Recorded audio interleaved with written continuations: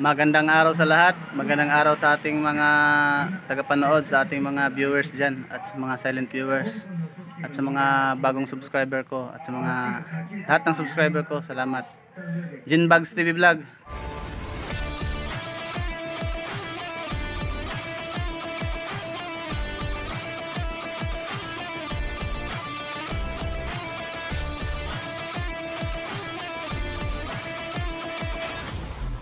Mga kabuinas, for today's content, gagawa tayo ng kawil.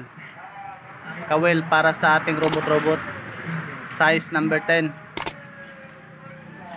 DIY stainless na kawil. Ito kabuinas. Ito gamitin natin sa ating DIY, DIY na kawil. Ah, panoorin nyo mga kabuinas kung paano ko gawin yung kawil natin para sa ating robot-robot. Size 10 na kawil mga kaboynas. DIY tutorial. Itong stainless kaboynas, mabili, mabibili lang to sa mga hardware sa fishing supply or sa sa mga hardware mga kaboynas. Stainless na kawil. Yan. Panoorin nyo mga kaboynas kung paano ko gawin yung DIY natin na kawil na stainless.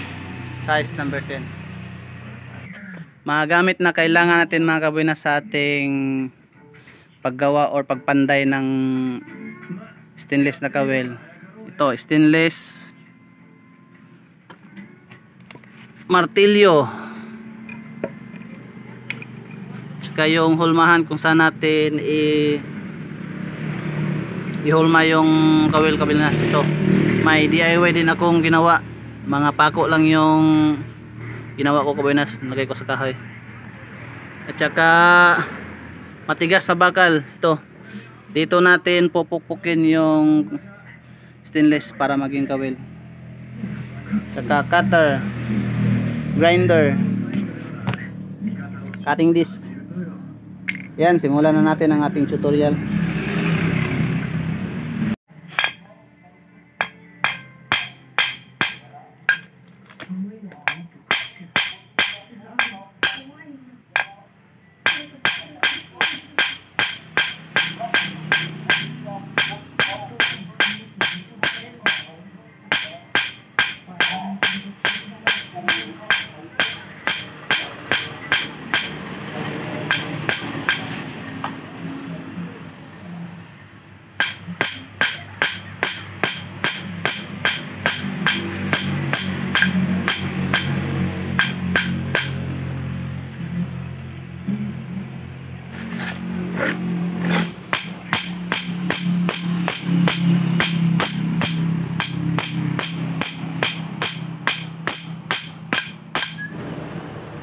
Gamit din pala tayo ng limbas kaboynas, limbas kung tawagin sa amin para panghasa sa sima ng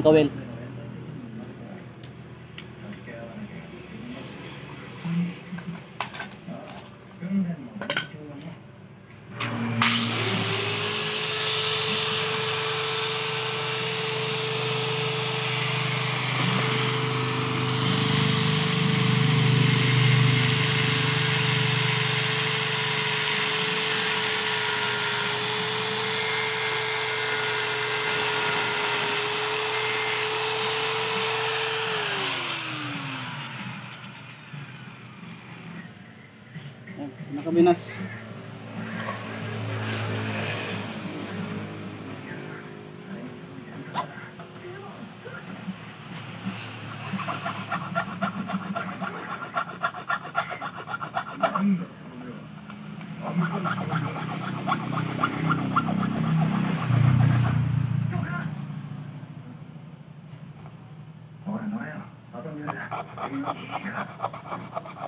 Idol mo. Hello, yun. Kita niyo pa.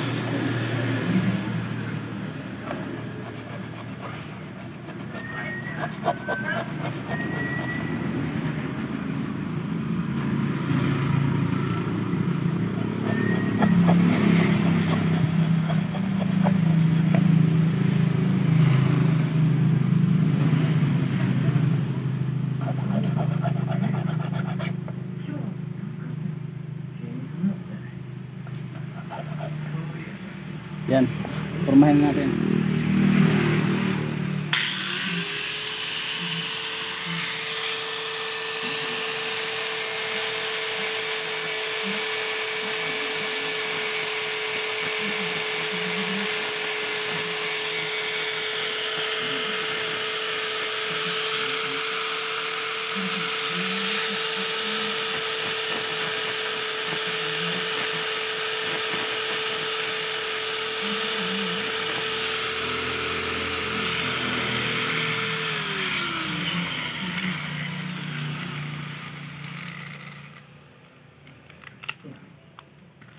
累。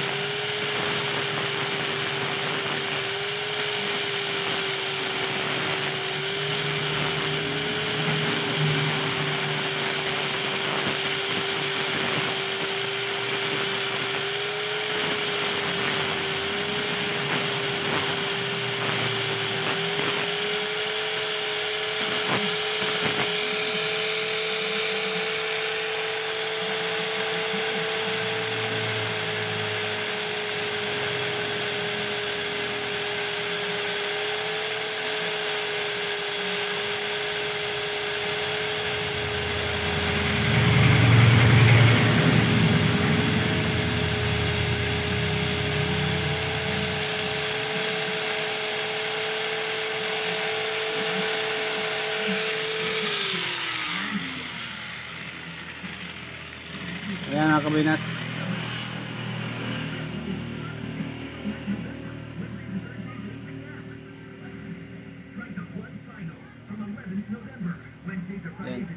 Asain pa natin yung sima niya para gumanda.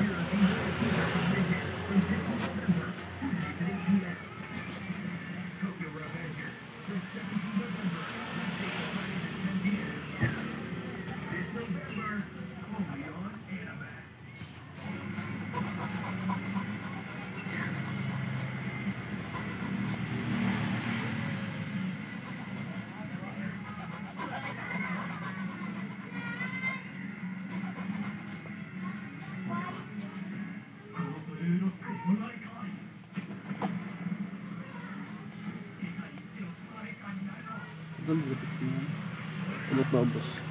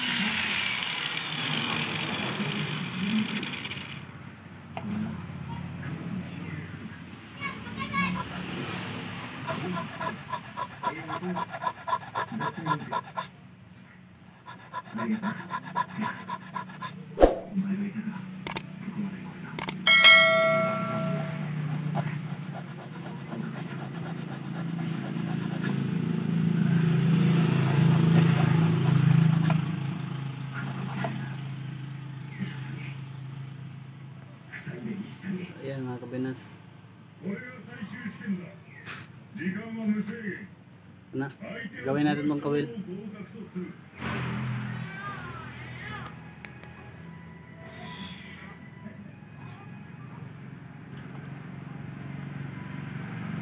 Ito yung kagaya natin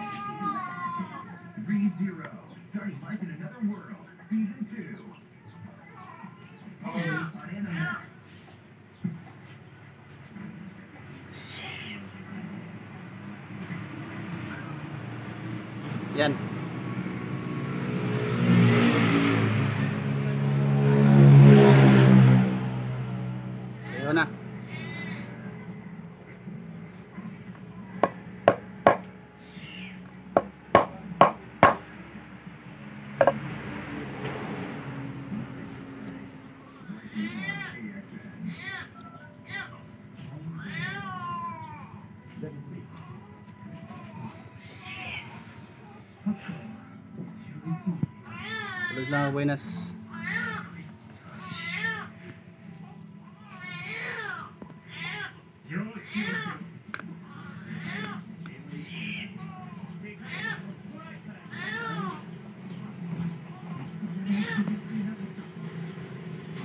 Putulin na natin.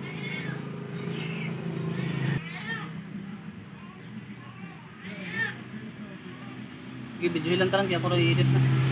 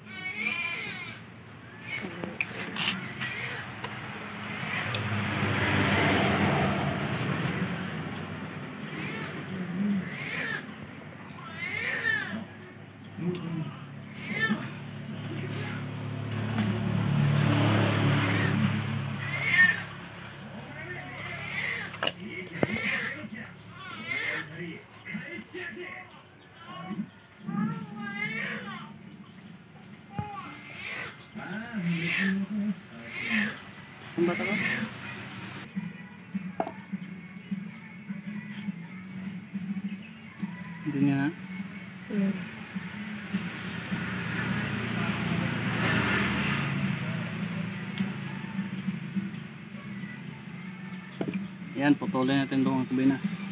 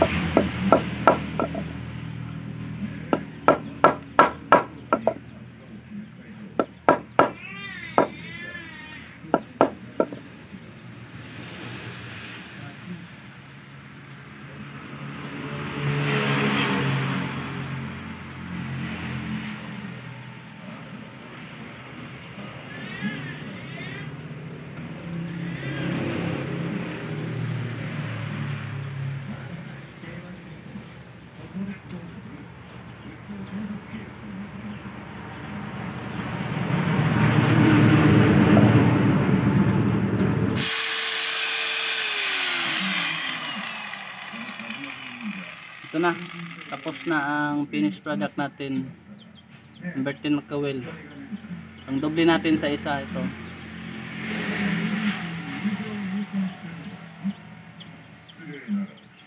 Na. Tapos na ang ating DIY hook para sa ating robot-robot. Additional pa pala mga kabuinas. Para hindi madali magangad yung taga natin or kawel. Ipit. Ah, pupukin natin dito kabuinas, laparin natin ng konti dito.